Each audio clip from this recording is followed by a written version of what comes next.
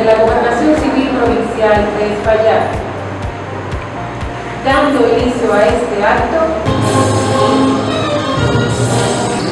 bendice a esta hija tuya, Juana Rosario, dale la sabiduría que viene de ti, que ella pueda responder a las necesidades prioritarias de los más necesitados de esta provincia. Solo quiero agradecer la presencia de cada uno de ustedes, representantes claves en los diferentes sectores sociales y económicos de nuestra comunidad. El eco de las necesidades latentes en cada comunidad y las artesanas de todas las soluciones emanadas del objetivo principal del Poder Ejecutivo.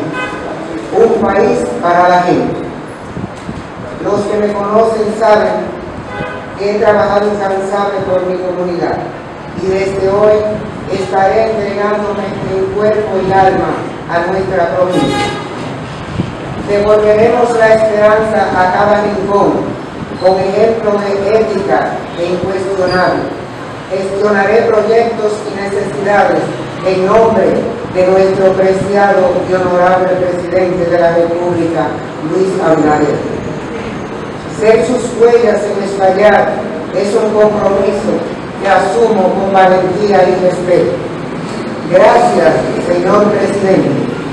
Igualdad, justicia, libertad, prosperidad, transparencia y el profundo deseo de servir son su norte y serán de igual manera la principal misión de la Gobernación Civil Provincial junto a todo el equipo que la integra.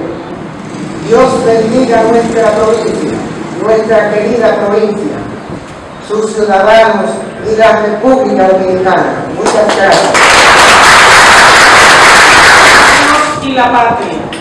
Cumplir y hacer cumplir la Constitución y las leyes y las disposiciones que emanen del Ministerio de Interior y Policía, del cual dependen todas las gobernaciones del país, y a ejercer sus funciones con ética, transparencia y rendición de cuentas.